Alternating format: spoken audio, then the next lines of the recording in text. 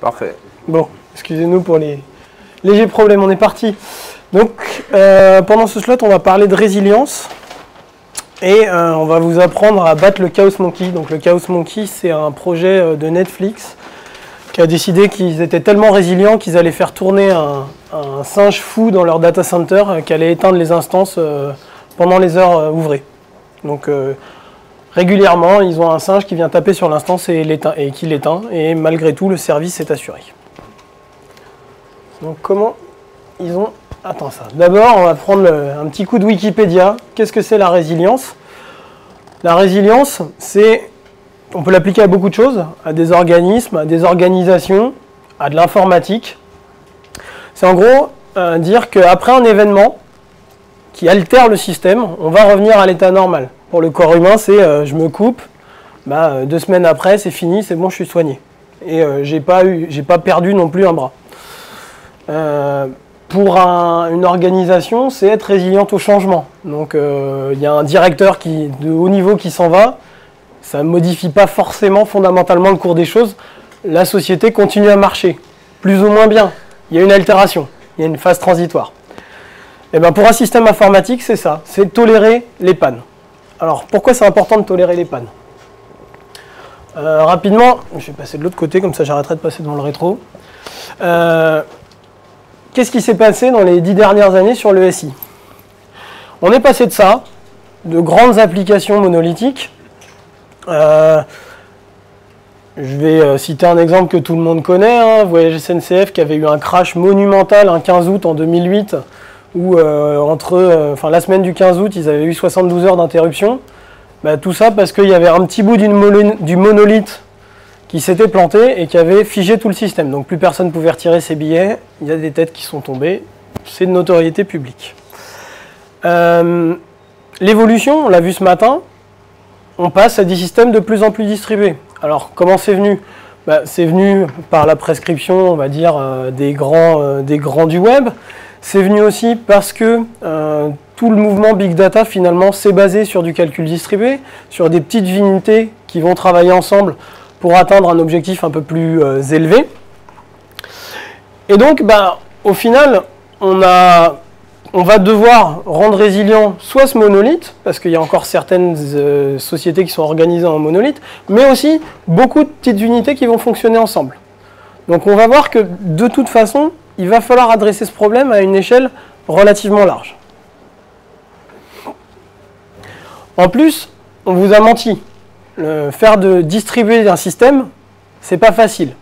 Donc là, j'ai repris une traduction euh, plus ou moins officielle euh, des Eight Fallacies of Distributed Computing, donc qui sont de croire que tout va, bien se passer, que euh, le réseau est fiable, que mon système il est équitablement distribué, que toutes mes machines vont travailler à la même vitesse, euh, que j'ai une bande passante infinie, que faire transiter mes données au sein de mon data center, entre différents data centers, voire même entre différents continents, ça va marcher comme sur des roulettes.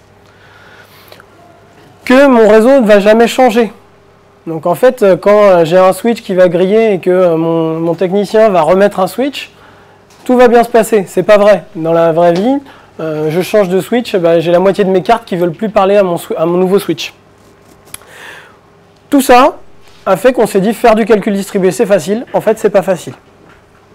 Et ça, c'est quelque chose que les précurseurs du big data ont bien compris. C'est-à-dire, euh, les créateurs d'Hadoop, les créateurs de Cassandra savent très bien que tout ça est faux et que donc leurs produits, s'ils veulent être résilients, doivent répondre à ces problématiques. Eh ben, on va avoir exactement la même chose au niveau d'un système d'information au global. Donc on ne va pas seulement se concentrer sur le réseau, on va, se on va dire le matériel n'est pas fiable, donc euh, votre data center n'est pas fiable, votre logiciel n'est pas fiable, et les partenaires de votre logiciel ne sont pas fiables. Et puis il y a un truc qui s'appelle la loi de Murphy. Alors ça, il faut être né dans les années 80 pour comprendre. Euh, la loi de Murphy, c'est que de toute façon, ça va arriver, vous aurez un problème.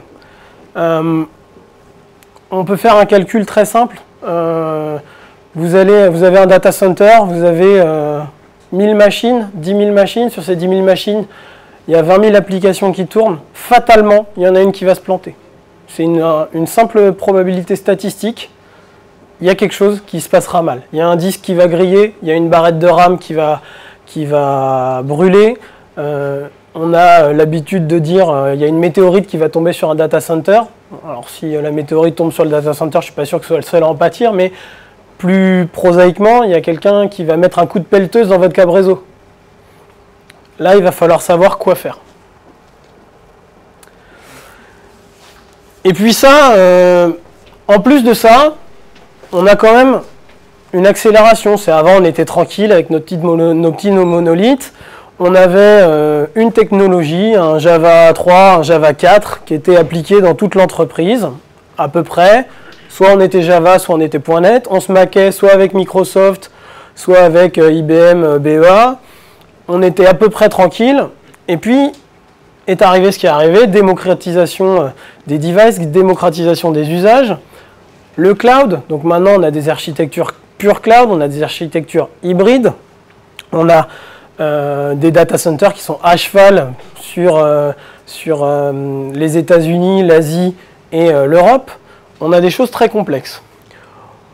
Les grands du web ont dit ouais moi, moi de toute façon je m'en fiche, claquer 1000 serveurs c'est pas un problème.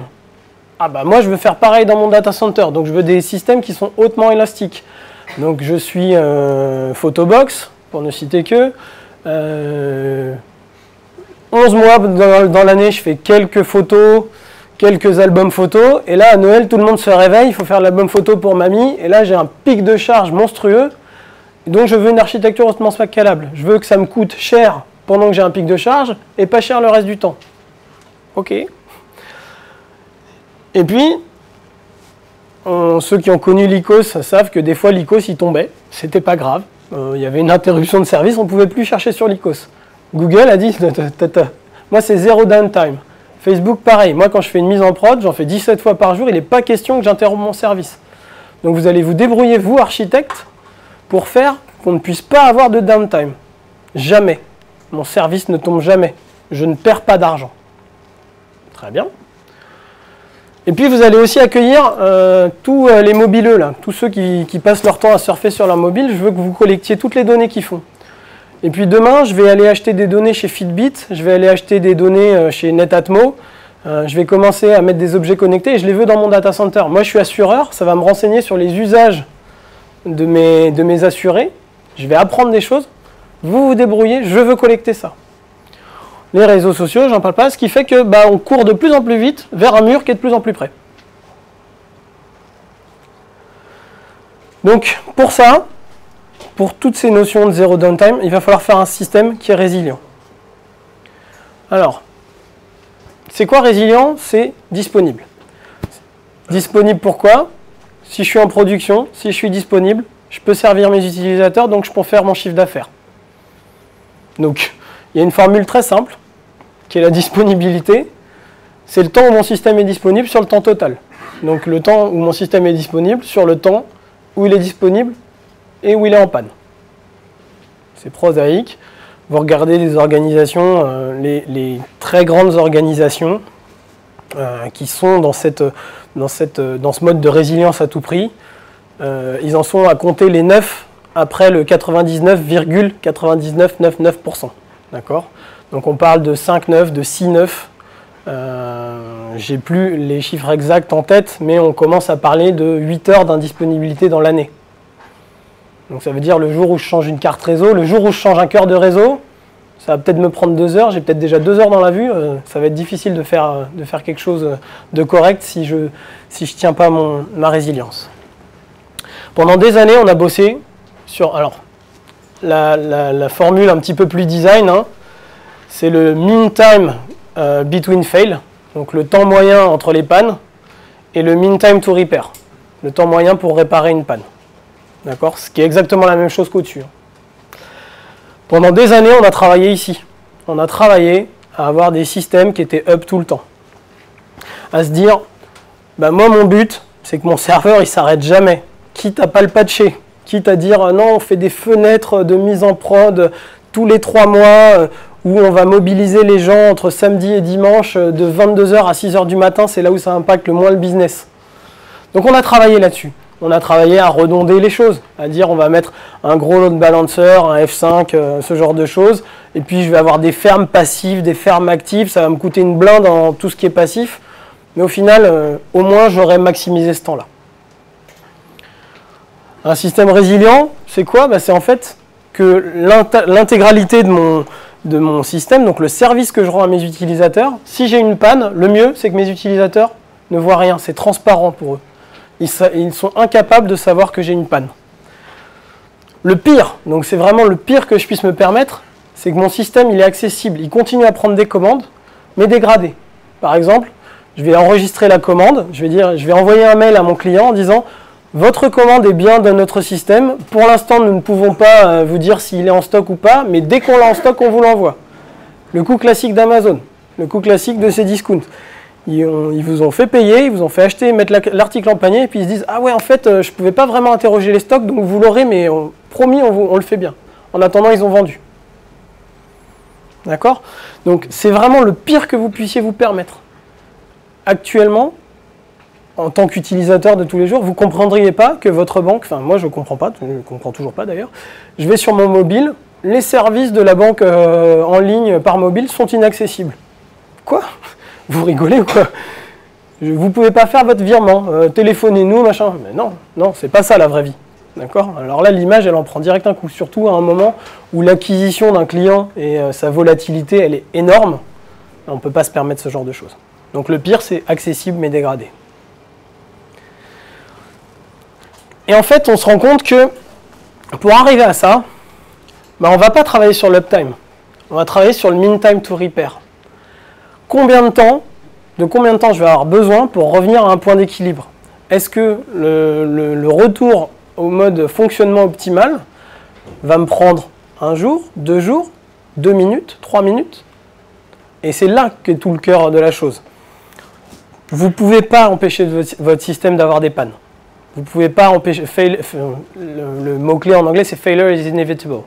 Donc, vous ne pouvez pas vous prémunir. Donc, il faut l'embrasser et dire je vais travailler sur le mean time to repair.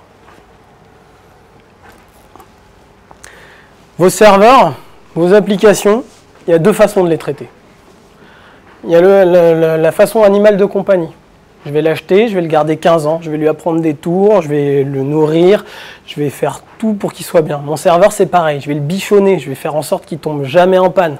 Je vais surtout passer tous les petits upgrades que HP, que Dell me dira de passer. Je vais, être au garde à vous, le doigt, euh, le doigt sur la couture du pantalon, et je vais garder euh, mon, 1U euh, avec mes, Pentium des années. La même, façon pour votre soft. Votre soft, vous allez essayer de mettre verrue après verrue, patch après patch, appeler l'éditeur, oui, il faut passer en WebSphere 7, euh, sinon vous n'y arriverez pas, donc vous passez gentiment en WebSphere 7, ainsi de suite. Ça, c'est la méthode qu'on a tous euh, expérimenté, qu'on a, a tous appris à peu près, en se disant, un soft, c'est fait pour durer dans le temps. Et puis, il y a la méthode Google. C'est tant que ma vache, elle donne du lait, c'est bon. Le jour où elle donne plus de lait, je lui mets... je l'envoie à l'abattoir et j'en fais du steak. Euh, vous avez peut-être tous vu cette, euh, vidéo de Google qui dit bah, Moi, mon, mon data center, c'est des boîtes à chaussures. Les serveurs, je les démonte, je les prends, je les jette à la poubelle, j'en mets un autre à la place. Il y a des gens qui sont en train de se, dire que le soft, c'est pareil. De dire J'ai un, un soft, il rend un service, je l'ai conteneurisé, je l'ai mis dans, une petite boîte, j'ai eu un temps de développement qui n'était pas si énorme que ça. Et le jour où il ne fait plus l'affaire, parce que la législation a changé, parce que euh, tout un tas de bonnes raisons, ben je le jette à la poubelle et je le réécris. Ça fait un peu mal à entendre, mais au, bout d'un moment, s'y fait.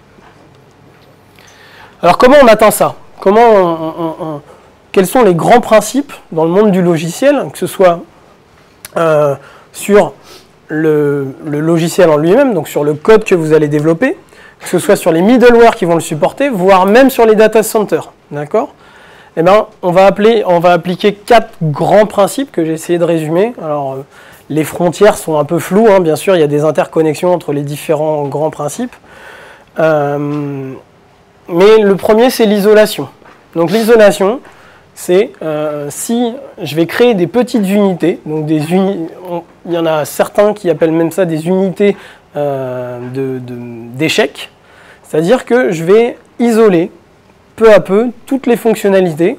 Et là, on est en train de penser à un truc, on commence à parler microservices. Même au sein d'un monolith, je peux isoler des, blocs fonctionnels qui vont avoir des adhérences.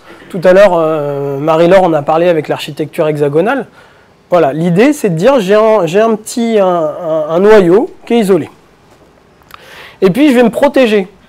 Je ne vais pas croire que euh, tous les partenaires que je vais avoir autour, qu'ils soient au sein de mon programme, voire des programmes externes, voire même des prestataires extérieurs, vont m'envoyer ce qu'on a dit qu'ils allaient m'envoyer. Parce que le jour où ils m'envoient un caractère à la noix que j'arrive pas à exploiter, qui fait cracher ma JVM, bah, je l'ai dans l'os. Donc, je vais être très défensif envers tout le monde. Je ne vais jamais croire ce qu'on me demande. Donc, je vais checker tous les paramètres qui rentrent. Je vais être aussi me mettre en mesure de freiner les appelants. Je ne sais pas pourquoi, pour une raison X ou Y, euh, mon, euh, mon comment? Ça y est, j'ai oublié. Ma, la, vente s'accélère et moi, mon stock, il n'arrive plus à répondre. Bah, il faut que je sois en mesure de dire, oula, eh, calmez-vous les gars, ça va bien, je répondrai quand j'aurai le temps. D'accord? Donc je ne vais, pas me mettre une pression qui va faire que je vais m'emballer et cracher, mais je vais me mettre en mesure de freiner les appelants. C'est ce que font très bien des logiciels euh, comme RabbitMQ. RabbitMQ, au bout d'un moment, si vous commencez à lui en mettre plein la tête, il va freiner de lui-même. Il va commencer à dépiler doucement. D'accord? Et puis un truc de base, c'est que mes données, si je garde tout en mémoire, si je, me, crache, j'ai plus rien. Si je les mets sur disque, c'est un peu mieux. Si le disque crache, bon. Après, bah, je vais les répliquer. Donc les répliquer les données, c'est soit s'appuyer sur des systèmes qui les répliquent. Typiquement, toutes les grandes bases de données maintenant ont plusieurs réplicas. Hein, Couchbase, euh, Cassandra, un Hadoop réplique trois fois ces données. Tout ça, c'est vraiment très connu. Vous, vous pouvez le faire aussi. Vous pouvez commencer à dire, bah, j'ai un nœud qui porte des données principales, peut-être que j'ai besoin d'un autre nœud dans mon système. Soit je m'appuie sur quelque chose où je sais que les données sont répliquées, soit je les réplique moi-même. Attention, c'est un exercice assez difficile. Maintenant que j'ai isolé mes petites unités, ben, je vais tout faire pour qu'elles ne soient pas couplées. C'est-à-dire que la chute d'une unité n'entraîne pas la chute de tout le système. Donc pour ça, on va utiliser des techniques, on en a encore parlé ce matin, tout est lié. On va faire euh, des, appels asynchrones. Donc je ne vais pas attendre forcément la réponse, ou alors je vais donner une réponse OK, je t'ai bien entendu, mais je ne vais pas forcément attendre que tu aies fini ton traitement pour que tu me dises OK, le, traitement est bien fini. Ça, ça implique aussi de réfléchir autrement, de dire peut-être peut-être que ça intéresse mon appelant de savoir que moi j'ai fini mon traitement métier complexe. Mais à ce moment-là, je vais le faire par une callback. Typiquement, c'est le cas que vous avez euh, quand euh, vous avez un utilisateur qui demande un, batch, enfin qui demande à déclencher un batch, vous n'allez pas lui dire attends 35 minutes avec ton navigateur web ouvert que je te réponde. Vous allez lui envoyer un email, vous allez lui dire le fichier sera disponible là à telle heure. On a de plus en plus des architectures événementielles. Tout devient événement. Ce qui permet de dire, moi je ne sais pas ce que vous voulez faire vous, autre appelant. En tout cas, moi j'ai vu ça passer, j'ai transformé la donnée de cette façon-là et je vous l'ai posée là. Donc si vous voulez en faire quelque chose, bah, vous allez aller la chercher et je ne veux pas savoir qui vous êtes. Typiquement, euh, on en parlait il n'y a pas très longtemps, euh, j'ai euh, un événement qui doit déclencher un envoi de mail à un utilisateur. Si demain je ne veux plus lui envoyer un mail, mais je veux lui envoyer un système de push, une push notification sur son téléphone, bah, c'est quand même plus facile de dire j'abonne un système de push à une file d'événements que je vais redévelopper mon premier système pour envoyer un mail et faire un push. Parce que du coup, j'aurais couplé les roadmaps de mes deux produits.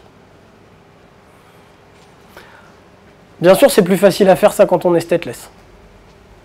Donc au maximum, il faut être stateless. Ce n'est pas tout le temps le cas. Euh, on se rend compte que si on inverse un peu le schéma de pensée, c'est facile d'arriver à quelque chose d'assez stateless et de gérer les états dans une machine à état comme, comme ils l'ont montré ce matin. la localisation dans le data center doit être sans importance. Je ne veux pas savoir que mon service est déployé sur le serveur A ou sur le serveur B ou sur le serveur C. Je veux juste dire, j'appelle, je veux appeler ce service, dites-moi où j'appelle. D'accord? Donc ça, euh, peut-être que c'est quelque chose qui vous est familier. Peut-être que j'enfonce des portes ouvertes aussi, il hein. ne faut pas hésiter à me le dire. Mais la localisation sans importance, c'est extrêmement important. Par contre, ça ne veut pas dire que la localisation physique du service doit être sans importance. Si j'ai un service qui a, énormément, qui a besoin d'énormément de RAM, je vais le déployer sur une machine qui a énormément de RAM. Donc, pour l'appelant, c'est sans importance. Pour l'exécutant, bien sûr que ça a une importance. Et puis, je dois être idempotent. Si j'ai 5 versions du service, enfin 5 instances du service qui existent dans mon système, quel que soit lequel sur celui, euh, celui sur lequel je tape, j'aurai le même résultat. Donc là, on va commencer à dire euh, idempotence du code, idempotence euh, de la config avec de l'infra as code, idempotence éventuellement avec des, tests prévisionnels. Enfin, il y a pas mal de techniques là aussi. Je n'ai pas le temps de rentrer dans tous les détails. Je vais être obligé de contrôler ma, latence. Si j'appelle un partenaire, déjà je ne sais pas où il est, je ne sais même pas comment il s'appelle, bah, il faut que je m'attende à soit il me répond dans un temps imparti, soit j'abandonne. D'accord? Donc là, je vais commencer à gérer des timeouts et à dire bah, si j'ai pété un timeout, peut-être que je dois aller euh, gérer un événement ailleurs. Et puis, euh, si j'ai fait 12 euh, timeouts systématiques sur ce même partenaire, j'ai peut-être intérêt à plus l'appeler et à passer en mode fonctionnement dégradé. Ça, c'est un peu le pattern circuit breaker qu'on peut avoir à l'appel ou en réception. D'accord? Donc dire, ah, attention là, lui, il ne me répond plus du tout. Je vais passer sur mon circuit alternatif. Si mon circuit alternatif répond plus du tout non plus, bah, je vais arrêter le service et je vais dire euh, rappelez-moi plus tard. Truc très connu et qui pourtant euh, malheureusement n'est pas assez euh, réparti, c'est l'échec rapide, fait le fast. Si je sens que je vais me planter, bah, autant me planter tout de suite et dire attends, je te répondrai pas là. De toute façon, je sais pas moi, mon pool de mon pool de connexion à la base de données, il est, ça fait deux heures euh, qu'il est à 100%, euh, tu me rajoutes une requête, je te répondrai pas. Donc, no go. La démultiplication et le fan-out, c'est deux choses euh, qui sont là aussi issues des concepts big data. C'est dire, bah, je vais avoir un acteur ou un, service qui va recevoir une requête et il va faire travailler des esclaves. Et le premier qui va me lui répondre, eh ben, on va renvoyer la réponse. Ça, on, peut le faire parce qu'on est idempotent. Typiquement, si vous avez, si vous connaissez un peu Hadoop, Hadoop, parfois, il lance plusieurs fois le même job et il prend la première réponse parce qu'il trouve que celui-là il s'exécute trop lentement, donc euh, il va le lancer plusieurs fois et il va prendre la première réponse. Ça, vous pouvez le faire aussi. Avec un système d'acteurs, c'est assez facile. Et puis, ben, le concept de bounded queue, c'est-à-dire je vais mettre entre mes différents composants, je vais mettre des queues qui ne sont pas illimitées. C'est pas open bar, c'est euh, je peux avoir 20 requêtes en attente. Et si euh, je dépasse les 20 requêtes, ben, je dis que je ne répondrai pas. Donc c'est contrôler un petit peu toutes les frontières extérieures. Et puis tout ça, ça ne se fait pas sans, supervision. La supervision, c'est à plusieurs niveaux. Je fais, je fais bien la différence entre la supervision et le monitoring. Donc le monitoring, c'est se mettre en mesure de détecter qu'il y a un élément du système qui ne va pas bien. Donc on est, vous vous rappelez, on est passé d'un monolithe où on surveillait la, la HIP et la CPU à 25 euh, éléments euh, distribués qui ont tous leur HIP, tous leur CPU. Est-ce que euh, comment je gère mon système d'alerting? Moi, j'ai été épaté de voir qu'il y a des ops, pour eux, c'était la révolution. Ils étaient habitués à surveiller 10 serveurs. Sur ces 10 serveurs, il y a 10 applications. Quand on leur a dit non, mais là, maintenant, c'est. Je ne sais pas combien il y a de serveurs, parce que de toute façon, je suis élastique. je ne sais pas combien il y a d'acteurs, parce que je suis élastique. Ils, ils, sont devenus fous, ils sont devenus tout blancs. Donc ça, euh, bah, ça se rapproche un petit peu des problématiques DevOps. C'est que vous, en tant qu'architecte et développeur, vous allez vous intéresser à ces problématiques de production, vous intéresser à ces architectures distribuées, vous, dire, je suis pas, mon code il tourne, quelque part. une fois que j'ai produit mon code, j'ai pas fini mon travail. D'accord? Et de l'autre côté, les ops vont commencer à se rapprocher de vous pour se dire, bah oui, mais alors là, il va falloir m'expliquer par quel tuyau on passe parce que franchement, j'y comprends plus rien. Il faut gérer les erreurs. Est-ce que quand j'ai un, message qui m'arrive qui est en erreur, je sais pas, je sais pas, je suis dans une banque, j'ai un virement qui arrive avec un point à la place d'une virgule. Bah, je vais peut-être le mettre dans une file pour dire oh là celui-là je j'y touche pas, je le traiterai après. On verra. Peut-être que c'est une intervention manuelle. Peut-être que je vais envoyer une notification à quelqu'un en disant hey, regarde, c'est bizarre ce truc-là, pourquoi c'est passé? Je peux aussi avoir un processus d'escalade, de dire bah, je vais poser ça dans un autre coin, et là je vais avoir un autre acteur qui va gérer les cas d'erreur, et qui va soit essayer de les résoudre lui-même, soit renvoyer à la plan une erreur, soit escalader encore à un niveau au-dessus. Et puis, dans la mesure du possible, je vais m'auto-réparer. C'est-à-dire que si je me plante, je ne sais pas si vous avez déjà essayé Node.js, Node.js, quand il a une erreur euh, type euh, runtime, il remonte tout en haut, il arrête le process. Donc euh, là, auto-réparation zéro. Maintenant, vous, vous pouvez aussi mettre des processus qui vont vérifier que ce processus, il est là, le redémarrer, faire tout un tas de choses. Ou peut-être que la, bonne solution, c'est qu'il se, suicide. Hein. J'ai pas de religion là-dessus. Est-ce que ça vous paraît Est-ce qu'il y a des questions un peu sur la partie théorique? C'est bon On attaque la pratique et les démos. Alors, première, euh, euh, démo. Finalement, tout ça, c'est facile. Facile, entre guillemets, quand on va dans le cloud. Alors, on, va, a pris euh, un fournisseur de cloud bien, connu. Et en fait, Vincent va vous démontrer travers, on va, on va utiliser ces services PASS, d'accord? Dans un deuxième temps, on utilisera du YAS, mais ce sera pour illustrer que c'est notre data center. Donc PASS, c'est des services out of the box. Donc on va voir qu'il euh, répond euh, via des, des auto-scaling groups qui vont procurer de l'élasticité, des load balancers qui vont masquer cette complexité, des health checks qui vont vérifier que mon service est up, euh, des métriques dans CloudWatch et Vincent va même vous démontrer qu'on peut claquer le Chaos Monkey Netflix là-dedans et que ça tient. Enfin, j'espère. Bon courage. Merci. Du coup, beaucoup de challenges. Alors, euh, je vais vous démontrer en fait euh, tout ceci en proposant un cluster Elasticsearch et donc l'idée, ça va être de pouvoir, euh, via tous ces mécanismes, de, de scaler euh, ou upscaler, downscaler en fonction de la recharge euh, le cluster. après, j'ai choisi Elasticsearch parce que c'était visuel. on verra les, les, nœuds se rejoindre, etc. en prod, c'est peut-être pas l'idéal de, de, faire des mouvements comme ça de nœuds sur la donnée. c'est vraiment un but de démo. Donc, euh, la, première chose à faire pour euh, utiliser euh, la partie auto-scaling de, Amazon, c'est de vous setuper un nœud, un de vos nœuds. Donc ça peut être typiquement une instance EC2 avec votre service qui tourne. Et une fois que vous avez fait cette, installation propre, donc par exemple un CentOS ou une Debian, et installer votre service dessus, vous allez euh, snapshotter euh, en fait euh, votre instance, vous allez, vous allez créer une image AMI à vous. Et ensuite, vous allez pouvoir faire du, de l'autoscaling sur ces AMI. Donc, moi, j'ai installé Elasticsearch sur une petite instance. J'ai créé mon AMI. Et dans le... On voit ici mon AMI qui est stocké, qui a son, son ID. Euh, comme j'étais feignant, en fait, je l'ai provisionné via Ansible. Euh, je vous montrerai ça dans la deuxième démo, euh, la partie Ansible. Donc j'ai mon AMI qui est disponible avec son, son, ID ici. Et je vais créer une... je vais déjà créer alors un load balancer. Je ne sais pas si on voit bien l'écran, c'est assez net, pas trop. Je vais essayer de zoomer du coup. C'est peut-être mieux. Donc j'ai créé un load balancer Amazon.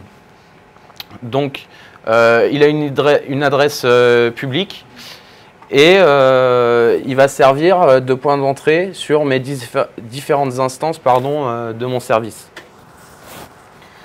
Et donc, vous allez commencer par créer dans un premier temps ce qu'ils appellent une launch configuration. Donc la launch configuration, c'est simplement dire euh, euh, c'était une AMI euh, précise, donc mon AMI Elasticsearch par exemple que j'avais faite. Et ensuite, c'était par exemple le type d'instance. Voilà. C'est simplement. et c'était par exemple le VPC ou le type d'adresse. Voilà. C'est un niveau d'abstraction. Une fois que vous êtes cette euh, launch configuration, donc ici, euh, Backday, euh, ASG, Elasticsearch, launch configuration, vous créez ensuite un auto-scaling group. Et donc l'auto-scaling group, en fait, il prend justement une launch configuration et un load balancer. Et c'est grâce à ce, cet auto-scaling group pardon, que les instances vont se, dupliquer ou enfin vont upscaler ou downscaler. Donc ici j'ai un auto-scaling group qui est attaché, euh, j'ai attaché mon load balancer et ma launch configuration.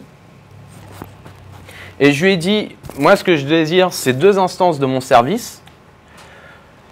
Le minimum, euh, quoi qu'il arrive, j'en veux toujours deux. Et le maximum, j'en veux 10. Et donc l'idée, c'est que ensuite vous allez pouvoir ajouter des scaling policy. Dire par exemple quand euh, une de mes instances, euh, par exemple, a plus de 80% de- d'occupation CPU, tu upscale, euh, tu upscale mon, mon service. Donc ça peut être soit tu en ajoutes un, soit tu rajoutes 4 en tout service, etc. Euh, on va le voir après. Et bien sûr, il restera, quoi qu'il arrive, dans les bornes min et max pour éviter que euh, vous ayez une facture énorme à la fin. Euh, alors, du coup, en démo, là, j'ai deux nœuds Elasticsearch. Donc, c'est deux instances euh, EC2. Et donc, si je regarde sur mon load balancer, j'ai bien deux nœuds ici. Et donc, ce que je peux faire, par exemple, c'est rajouter, pardon, rajouter par exemple une scaling policy. Alors, euh, plus, je vais vous mettre, euh, je vais vous créer une scaling policy, scaling policy. Et donc, alors attendez, évident, voilà. Et donc, vous créez une scaling policy vous allez lui, donner une alarme, c'est-à-dire quand est-ce que tu vas t'exécuter? Donc, euh, par rapport aux notifications, je vais prévenir mon CTO quand il y a un, scaling. Et donc, je vais lui dire, donc là, c'est pour l'effet démo, euh, je vais faire l'inverse de ce que vous devriez faire en prod. Je vais dire, si, votre, si mon CPU, l'occupation de mon CPU est inférieure à 50%, a priori, ça doit être le cas parce que mes nœuds ne sont pas sollicités énormément là. Euh, pendant une période de consécutive de 1 minute, alors tu vas scaler de 5. pardon, pendant une fois une minute, alors tu vas déclencher euh, ma, ma police de scaling. Et donc, j'ai créé cette règle et du coup, l'action à prendre en cas de déclenchement, ça va être par exemple d'ajouter une instance, deux instances, trois instances, ou directement dire je veux tout de suite 10 instances, par exemple, ou 8 instances. Alors je vais créer cette scaling policy. Est-ce que c'est clair pour tout le monde? Je ne vais pas trouver. En fait, c'est tu, tu, tu setup des alarmes, donc euh, le CPU en dessous de, au-dessus de ce seuil, la RAM au-dessus, au-dessus de ce seuil, etc., etc. Donc c'est des alarmes euh, type CloudWatch. Et si c'est déclenché, tu te prends une action. C'est-à-dire, soit tu ajoutes une instance, soit tu ajoutes euh, X instances, etc., etc. Et à la fin, il y avait un paramètre sur et pendant X temps de faire Euh, en fait, tu as un paramètre pour que... euh, La récurrence de l'alarme. Ouais, c'est-à-dire que... Voilà, pour pas que ça... un pic, un pic de CPU par exemple qui monte à 90% mais qui dure 10 secondes, bah là il faut que ce soit 90% consécu- consécutivement pendant 5 minutes ou pendant 10 minutes. Ou... Voilà. Et il y a aussi un paramètre où euh, tu vas ne pas vouloir scaler, euh, enfin, rescaler euh, tout de suite. Une fois que tu as... Police, Ouais, avant de prendre une action en fait. le temps que tes instances aient démarré et Et- que ça, ait- ça ait eu effet. Exactement. Et alors là, ce qui s'est passé, si on regarde dans le scaling history, en fait, il a détecté, euh, l'alarme s'est déclenchée et il est en train de popper des instances. Ça a été assez rapide. On le voit ici, toutes mes instances ici, qui sont en train de démarrer, qui sont en pending. Ici. Voilà. Je vais, je vais essayer de zoomer, pardon. Alors, euh, bien évidemment, dans, ma launch, dans mon autoscaling group, je lui avais dit, euh, quand tu démarres une instance, automatiquement, tu la tags avec le nom qui va bien. Il y, a- des choses comme ça euh, à faire. Et donc, si vous revenez sur la partie EC2, là, on voit que mes nœuds ont été EP. Mes instances, automatiquement, sont EP. Maintenant, si je regarde dans le plugin Head, normalement, je rafraîchis, je vois que mes nœuds ici ont été rajoutés. Voilà. Alors, il y a un petit... euh, pour ceux qui connaissent Elasticsearch, il réplique, euh, il- fait 4 copies de la donnée par défaut. Et donc, euh, ici, c'est pour ça il y a beaucoup trop de nœuds, du coup, il n'a pas, euh, il a pas dupliqué par tous les carrés, etc. Voilà, on pourra le changer dynamiquement, normalement.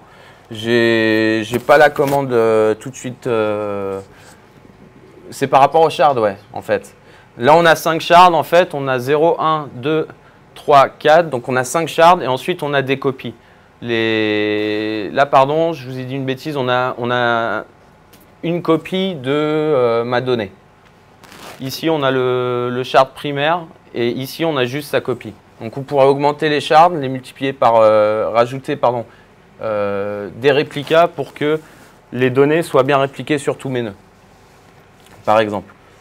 Et donc, euh, ce que disait Pablo tout à l'heure, c'est par rapport à Simian Army, donc c'est le projet Netflix, c'est de dire, Netflix, ce qu'ils font, c'est qu'ils ont, pour, pour tous leurs services, pour chaque, euh, donc ils ont une architecture euh, en microservices, euh, ils ont énormément de, services différents, et donc chaque service est bundlé sous forme d'une d'une AMI.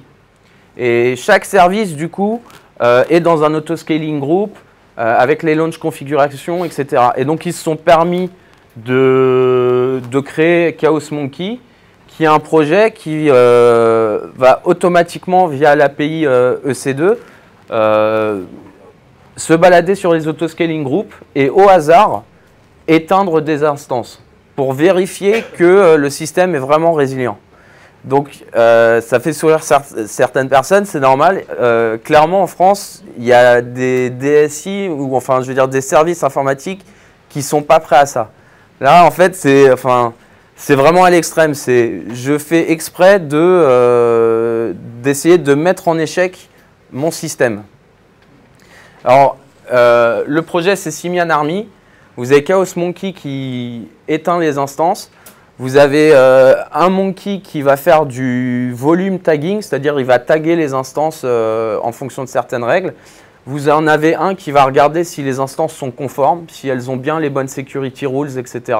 S'il y a un problème de security rules, il va la taguer. Et a priori, euh, il y a un, Genitor Monkey qui est un quatrième singe qui va venir en fait euh, regarder toutes les instances qui ont été flaguées et il va les enlever. Donc, euh, j'ai check-outé le projet Chaos Monkey.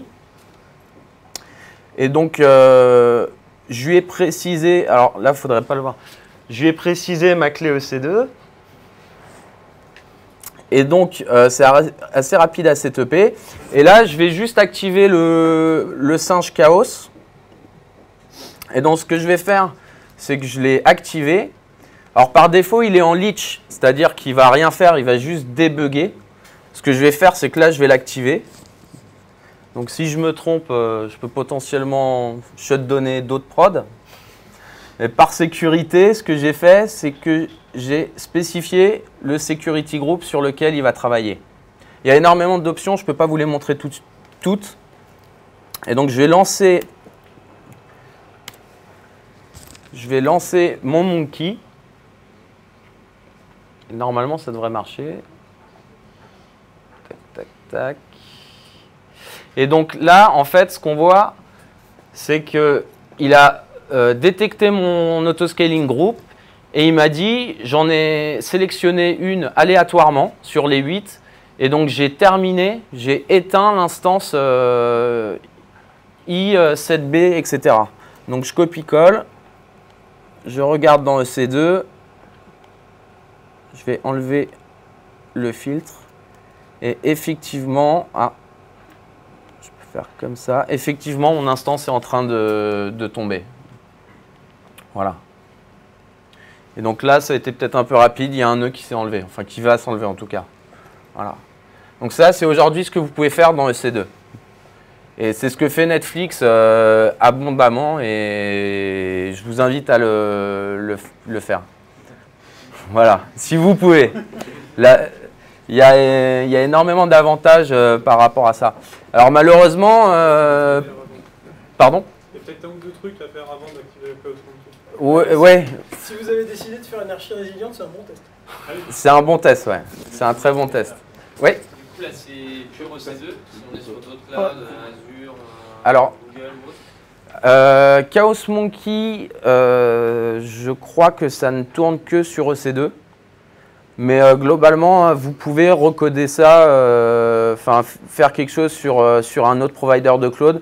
C'est, le principe, c'est juste avoir l'API qui permet de décrire euh, les instances. C'est le driver du cloud. Voilà, il faut Ouais. une API, c'est tout. On, a, on avait euh, regardé, euh, parce que nous, on est des utilisateurs forcenés d'Ansible, Vincent le montrera. En Ansible, à partir du moment où tu arrives à faire l'inventaire de tes machines, donc que ce soit sur n'importe quel. Tu peux très bien dire, j'en prends dans, dans l'inventaire, j'en prends une et je la tue. Donc, euh, même faire un Chaos Monkey avec de l'infra as code, c'est pas très très compliqué. Et après, l'autoscaling, il est...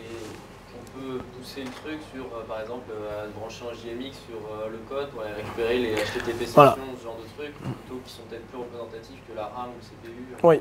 Après, Ouais. en fait, en fait l'autoscaling, il est branché sur CloudWatch. Et CloudWatch, tu peux mettre la métrique que tu veux dedans.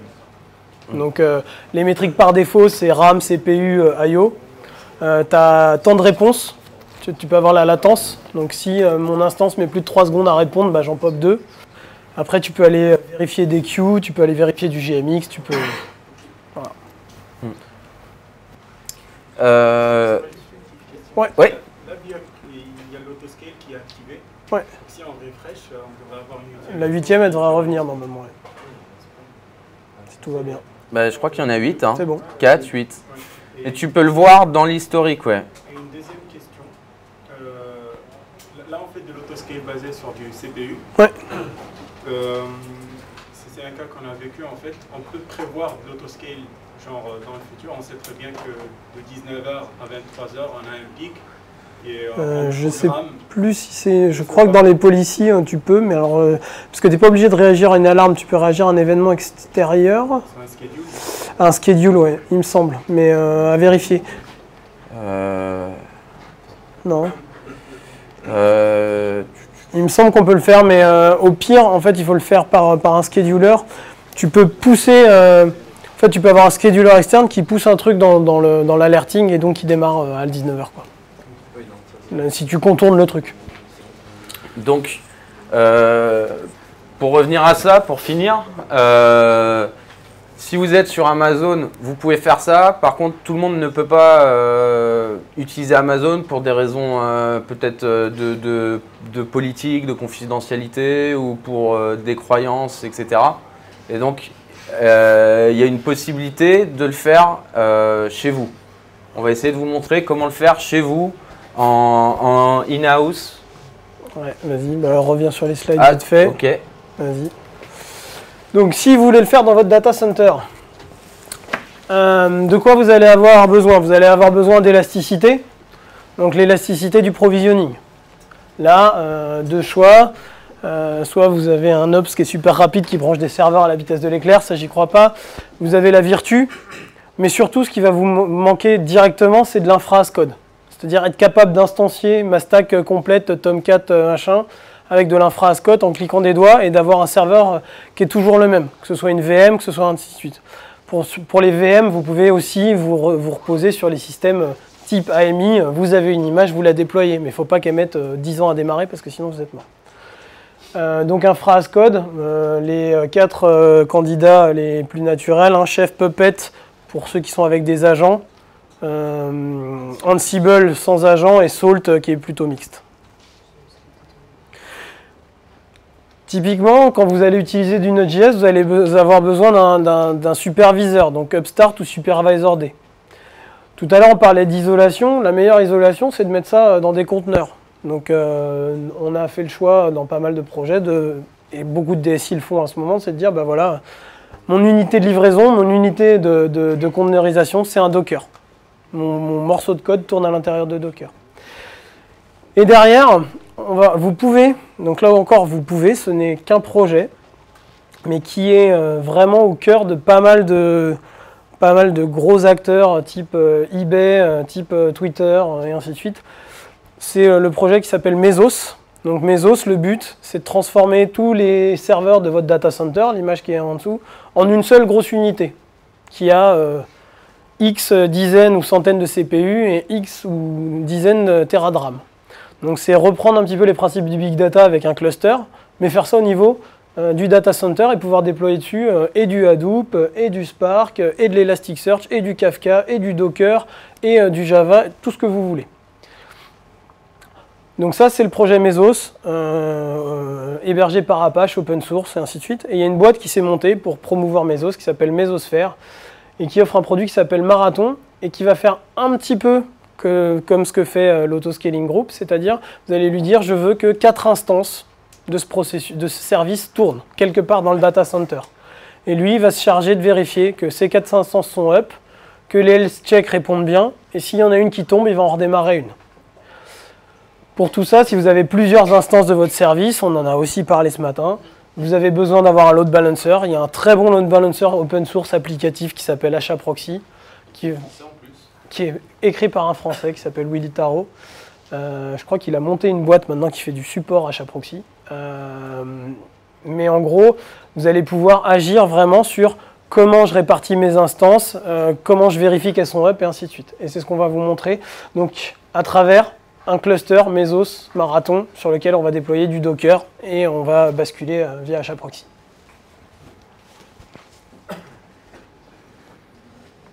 Alors, du coup, euh, la démo déjà, euh, juste pour vous dire, la démo c'est une petite pub. Euh, elle est disponible sur mon GitHub, euh, donc Ansible-Mesosphere. Et donc vous pouvez lancer ce qu'on va voir directement via Ansible. Et vous avez un petit README qui vous explique comment faire, c'est très facile.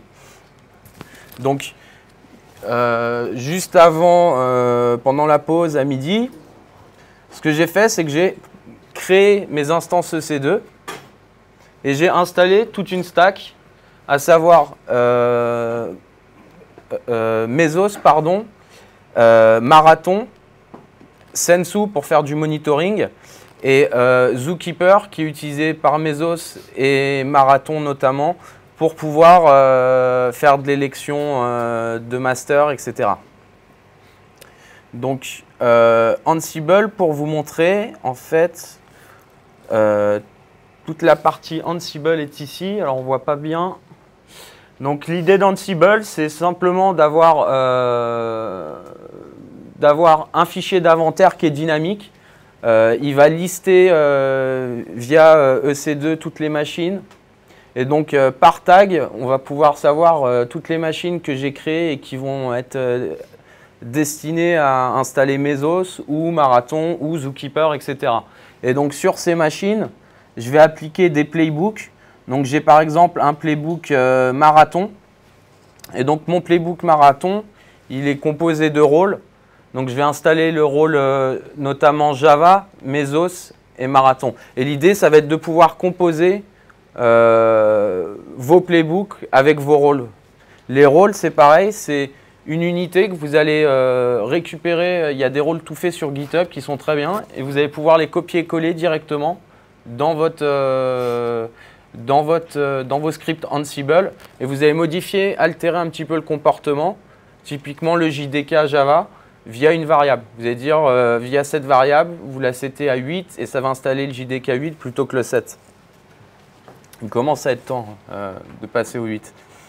Et juste un rôle, euh, très rapidement, c'est des tâches.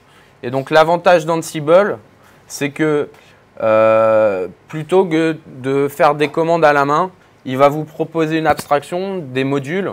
Et donc par exemple, ici, j'utilise le module apt et j'update le, en, fait le cache de apt. Et donc j'ai pas besoin, ici j'installe par exemple Marathon, j'ai pas besoin de penser à mettre le moins Y ou le moins QQ pour qu'il il dise oui automatiquement quand il va installer, etc. Il y a ici par exemple le- l'état présent, donc je pourrais mettre la test, et du coup à chaque fois que je run mon script Ansible, il va chercher la dernière version de, du package. Donc comme je vous disais, j'ai créé mon infra, donc j'ai créé mes instances via mon, mon Ansible et j'ai créé ensuite, enfin j'ai configuré pardon toutes mes instances, c'est-à-dire euh, Zookeeper, Mesos, Marathon, euh, Sensu via Ansible. Donc euh, j'ai juste lancé deux lignes de commande et je suis allé boire un café et discuter avec mes amis du marketing. Donc ici vous avez Mesos par exemple. Donc Mesos, comme Pablo l'a dit, donc sur l'install que j'ai faite, j'ai trois masters Mesos et deux slaves. Donc Mesos, vous avez des masters qui vont servir de chef d'orchestre et vous allez avoir des slaves qui vont exécuter les tâches. Donc dans un environnement de prod, vous allez plutôt avoir 3 5 masters et par contre 100, euh, 200, 1000 ou 10 000 euh, slaves. Euh, chez un gros acteur, euh, il a des clusters de 10 000 slaves. Et donc, comme disait Pablo tout à l'heure, euh, ici sur mon, master, je vois que j'ai deux slaves. Et donc, euh, ah, attendez, je vais un peu. Et en fait, euh, mon cluster me permet d'avoir deux CPU et, 515, euh, et à peu près 600 mots de RAM. Donc ça, c'est parce que j'ai pris des toutes petites machines sur EC2 pour que ça coûte pas très cher, mais normalement, bien évidemment, vous avez euh, 500 CPU, euh, des Tera de RAM, etc. Et ensuite, j'ai mis Marathon. Donc Marathon, c'est une surcouche au-dessus de Mesos.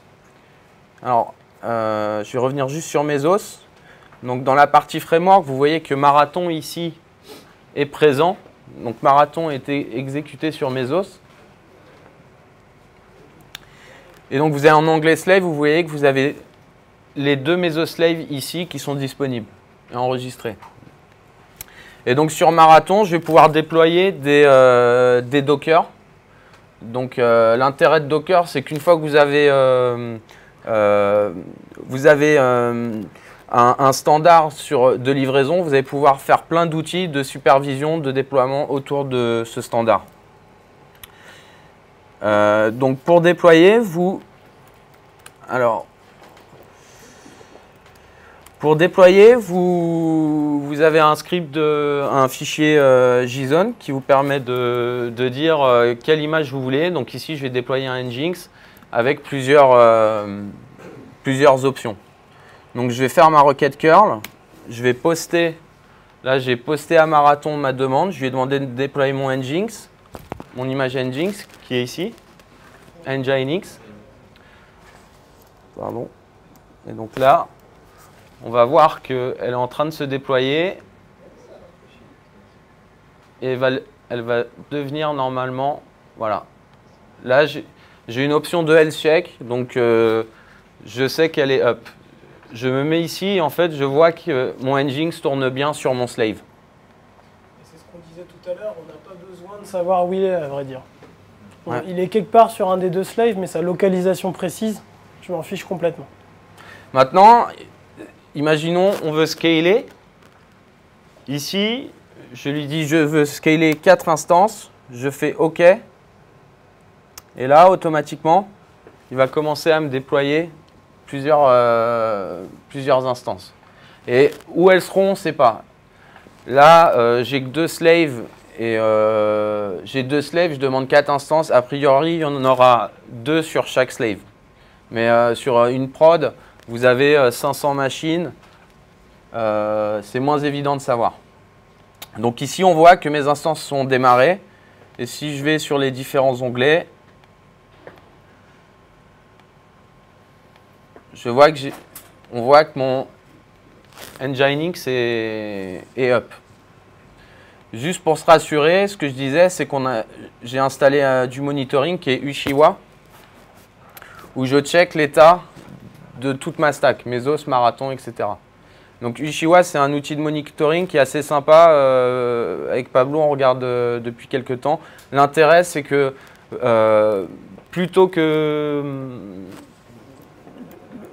il a une sorte de processus dynamique, c'est que si vous rajoutez un composant, par exemple un zookeeper, euh, quand, vous installez Sensu, donc c'est Sensu et le dashboard c'est Ushiwa, quand vous installez Sensu, euh, vous allez dire sur votre zookeeper, euh, contacte le serveur Sensu et il va télécharger les checks qu'il va devoir exécuter lui-même. Donc ça permet de, si vous rajoutez des, des services, dynamiquement, il va aller chercher ces checks de monitoring. Et juste pour montrer euh, du coup la résilience, si j'ai encore accès, non, ça avait été cassé. Donc là, je me connecte sur les slaves. Donc, donc là, je suis sur un de mes slaves. Ah. Et donc, j'ai bien mon image Nginx qui tourne. Donc, euh, si je vais dessus, là, je suis dans mon conteneur euh, Docker qui fait tourner euh, Nginx. Et ce que je vais faire, c'est que je vais... Alors, je vais vous montrer. Ah, pardon. Donc là, j'ai bien Nginx qui tourne. Et ce que je vais faire, c'est que je vais le tuer. Et en fait, comme j'ai superviseur D qui tourne, il s'est respawné automatiquement. Voilà. Euh, on peut. Alors, Docker PS, ce que je peux faire, c'est que je fais un Docker stop de mon conteneur. Et il est remonté en fait on voit qu'il y a un conteneur ici qui a été remonté. Voilà. Et donc, ce qu'on. Marathon, en fait, c'est une API euh, web. Euh, c'est une API REST, pardon. Euh, et donc, on pourrait très bien imaginer que votre outil de monitoring ou de supervision, en fonction des pics de charge, des alarmes, appelle Marathon pour auto-scaler, up-scaler, down-scaler en fonction euh, de vos charges, de, vos pics de charge de votre activité. Et typiquement, le site de e-commerce, à Noël, quand il prend un coup de bourre, il va up-scaler et euh, il va down-scaler ensuite euh, sur les jours où il y a moins d'activité. Voilà. Pour revenir à votre use de tout à l'heure, sur Marathon Mesos, il y a un scheduler qui tourne qui s'appelle Chronos. On pourrait très bien dire à Chronos à 19h, prévient Marathon qu'il faut mettre des nouvelles instances. C'est fait en quelques lignes de code. Est-ce que vous avez des questions? Ouais Du coup, est-ce qu'on a la possibilité de mettre des politiques euh, quand on dit bah, je scale up, de dire euh, bah, il ne faut pas que ce soit dans le même rack, il ne faut pas que ce soit dans le même data center, ce genre de choses, pour justement décrire la topologie du réseau, pour pas avoir tout sur le même nœud? Parce que là, typiquement, dans l'exemple que vous donniez, euh, C'est ça. En fait, il y, a une notion de tag dans Mesos euh, qui est reprise par Marathon. Donc en fait, on peut lui donner des politiques de déploiement, dire je veux une instance de ce service euh, par serveur, je veux que tous les nœuds du rack A et ce service et pas ce service-là. Je veux que ce service soit réparti équitablement sur le rack A, le rack B, le rack C. Et comme c'est des tags, la topologie du réseau, elle est décrite implicitement. Il faut que je connaisse bien euh, quel serveur. Enfin, au moment où je démarre mon serveur, je dois lui donner les tags euh, rack.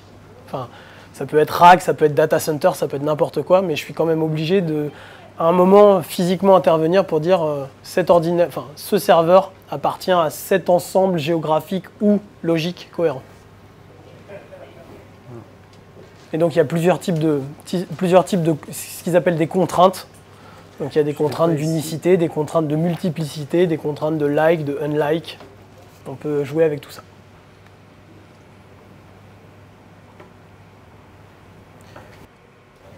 Il y a d'autres questions sur cette démo? On passe à la dernière slide alors qui est peut-être euh, la plus ardue. Euh, ouais. Ouais. ouais. Vas-y. L'OpenStack, euh, on pourrait avoir des choses équivalentes. Là, on n'est pas lié à OpenStack. C'est-à-dire, ça, ça, tourne sur du Linux, sur de Linux basique, donc on peut mettre du Debian, du CentOS, du ce qu'on veut. sans avoir forcément à reconstruire son data center. Donc on tourne sur des machines quasi nu en fait. Parce qu'on va avoir un process Mesos qui va s'exécuter, mais c'est le seul. Dernier étage de la fusée, là on vous a montré euh, du cloud, les facilités offertes par le pass, on vous a montré un produit. Euh, c'est parmi les premiers à se lancer, je, suppose qu'il y en aura d'autres. Hein. Vous avez peut-être entendu parler d'Yarn, qui est plus dédié euh, la partie big data, bah, Mesos c'est le pendant pour faire le reste. Maintenant il commence à y avoir des ponts entre Mesos et Yarn. Il y a peut-être quelqu'un qui va venir avec encore une meilleure idée sur du scheduling global de ressources. La dernière étape c'est bah, si vous avez ni l'un ni l'autre, vous pouvez faire des trucs. Là par contre on rentre dans la haute couture. Donc je vous ai mis plein de logos, euh, vous pouvez jouer, c'est un quiz. Euh, mais en gros vous avez un certain nombre de projets. par exemple Istrix, Istrix qui est outsourcé par Netflix qui va vous permettre de faire de la résilience au niveau serveur. Vous allez, via Istrix, lancer des services et décrire le comportement. Donc tout ce qui est pattern, de circuit breaker, de euh, back pressure, tout ça c'est déjà implémenté dans Istrix. Donc si vous, si vous faites surveiller vos services avec Istrix, bah, il va vous proposer directement de faire euh, le circuit breaker. Vous avez euh, des, des, produits qui sont résilients par défaut, Cassandra, Kafka vous avez Zookeeper, tout ça, c'est des, Quand vous regardez les best practices, bah, de toute façon, vous allez démarrer minimum 3 nœuds. Parce qu'en dessous, ils disent on n'est pas résilient, donc on ne rendra pas notre service. Euh, HAProxy, RabbitMQ, Docker, euh, DropWizard, Couchbase, bref. Je ne vais pas tous les citer. Maintenant, tous les grands, acteurs, tous les frameworks modernes vont prendre en compte cette résilience. Donc en vous appuyant dessus, vous pouvez vous-même atteindre un certain niveau de résilience.